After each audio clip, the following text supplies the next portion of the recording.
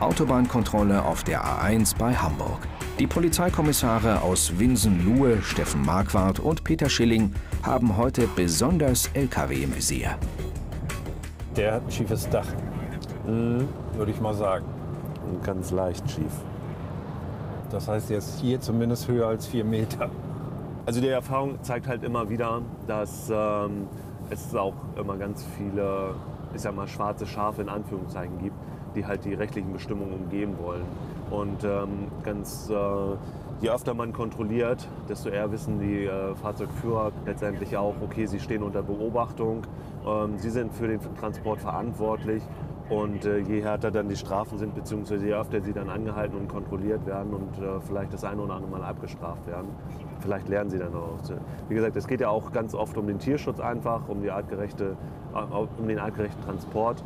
Und ähm, um das dann zu gewährleisten, da hilft halt nur, die Kontrolldichte. Viehtransporte legen häufig viele hundert Kilometer zurück.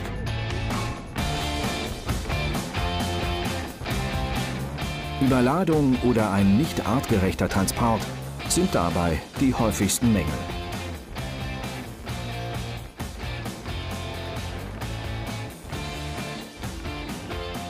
Hallo, schönen guten Tag. Eine Verkehrskontrolle, Führerschein und die Fahrzeugscheine bitte.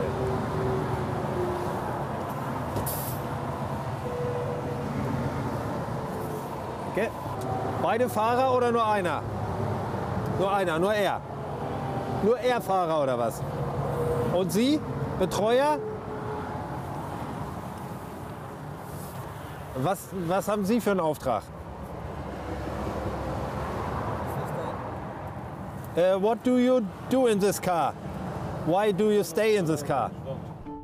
Der Begleiter gibt sich als Schwager des Fahrers aus und hält sich ansonsten bedeckt. So, dann mal einmal die Fahrerkarte. Ja? Karte. Meine aus? Ja, deine raus. Okay. Und jetzt nochmal zwei drücken. Genau. Keine. Okay.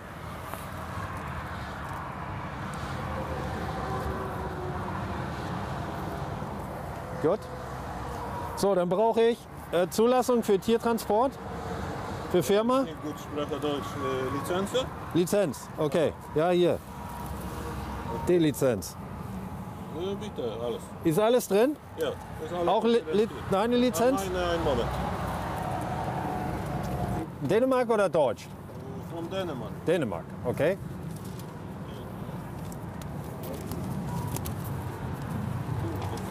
Hier haben wir jetzt einen äh, Ferkeltransport aus Dänemark nach.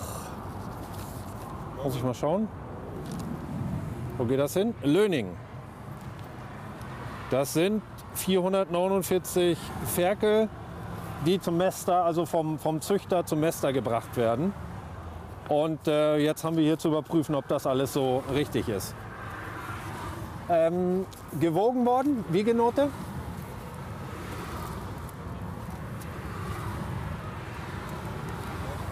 Ja, perfekt. Gut, er hat also in diesem Fall, das ist ja auch immer ein Punkt, äh, das Gewicht. Er hat in diesem Fall oder ist in diesem Fall vor der Abfahrt gewogen worden in Dänemark und hat jetzt also aktuell ein Gewicht von äh, 34.620 Kilogramm. Können wir einmal kurz aufmachen, an der Seite einmal reingucken? Steffen, machst, machst du mal die Höhenmesslehre klar und guckst mal hinten an der Ecke. Drei Monate sind die Ferkel aus Dänemark jetzt alt. Weitere drei Monate Mast im Emsland steht den Tieren noch bevor, bis es dann zum Schlachter geht. Haben tatsächlich alle Tiere genügend Platz auf dem Viehtransporter? Peter Schilling prüft genau. Doch die Tiere scheinen auf den ersten Blick alle wohlauf zu sein. Bleibt noch das Problem mit der Höhe des LKW. Okay, vier Decks oder fünf? Dreieinhalb. Dreieinhalb, ja, okay. Okay. Äh, das Problem, hinten die Ecke ist das Dach hoch, da steht er ein bisschen hoch, ne? Einmal, ich probiere machen das. Ja. Ein, Mo- warte mal noch einen Moment. Moment noch warten, der Kollege einmal messen. Also wir, wir haben hier das Problem, dass offensichtlich an der linken Seite das Hubdach so ein bisschen hoch steht. Also entweder hat ein technisches Problem oder hat es äh, nicht richtig zugemacht. Ähm, auf jeden Fall darf er ja maximal vier Meter hoch sein. Und wenn das Hubdach ausgefahren hat, ähm, dann äh, überschreitet er die vier Meter. Und dann wäre das wiederum eine Ordnungswidrigkeit. Jetzt müssen wir sehen, ob das jetzt vielleicht an irgendwelchen technischen Begebenheiten liegt oder ob er, ob er das halt einfach nicht weiter runterfahren kann. Was hat er? 4,7 Meter? 4,8 Meter. Acht. Kannst du runterfahren? Ja? Mal runter. Jetzt ist er unten. Noch mal auf der anderen Seite bitte. Naja, es gibt ja ganz klar die gesetzlichen Vorschriften und die Brücken sind natürlich auch nach dieser Vorschrift ausgerichtet. Das heißt, wenn er höher als vier Meter ist, ähm, dann kann es schon mal vorkommen, dass er an einer Brücke, die wirklich nur vier Meter hoch ist, halt hängen bleibt mit seinen vier Meter. Acht. Mit fatalen Folgen für Fahrer, Tiere und andere Verkehrsteilnehmer. Also wie man hier oben sieht, ist dieses Thema Höhe äh, ja durchaus angesagt, weil man sieht ja ganz deutlich, dass er schon mal irgendwo hängen geblieben ist. Ne?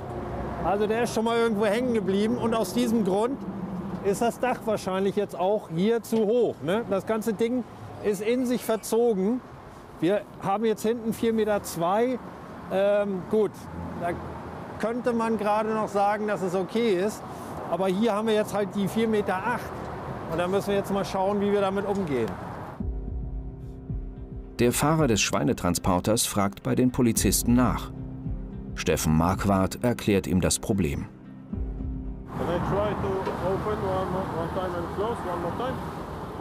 I, I, don't think uh, it will be work. You can see the damage over there.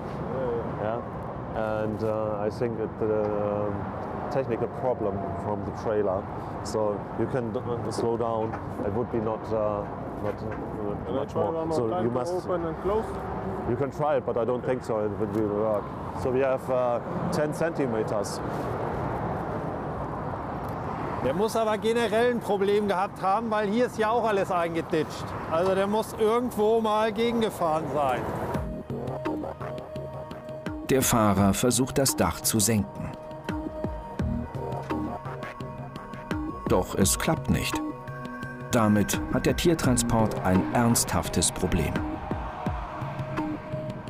Wir mussten jetzt hier überlegen, inwieweit wir eine Möglichkeit haben, den verkehrsgerechten Zustand wiederherzustellen. Und aufgrund der Beladung der 450 Ferkel ist es jetzt aktuell nicht möglich, ähm, den Zustand herzustellen oder das Fahrzeug stillzulegen. Wir können die Ferkel hier nicht stehen lassen auf dem Parkplatz bei den Temperaturen und wir haben auch keine Möglichkeit, die irgendwo unterzubringen bzw. abzuladen. Das heißt, wir werden ihm jetzt die Weiterfahrt gestatten, werden ihm eine Mängelmeldung mitgeben für den Fahrzeughalter und der kriegt eine ganz kurze Frist gesetzt, dass er das Fahrzeug vorführen muss in der richtigen Höhe. Das heißt, das Dach muss gerichtet werden. Innerhalb von acht Tagen muss der LKW zum TÜV zur Überprüfung. Geschieht dies nicht und gerät der Transporter in eine weitere Kontrolle, droht dem Fahrzeughalter eine saftige Geldstrafe.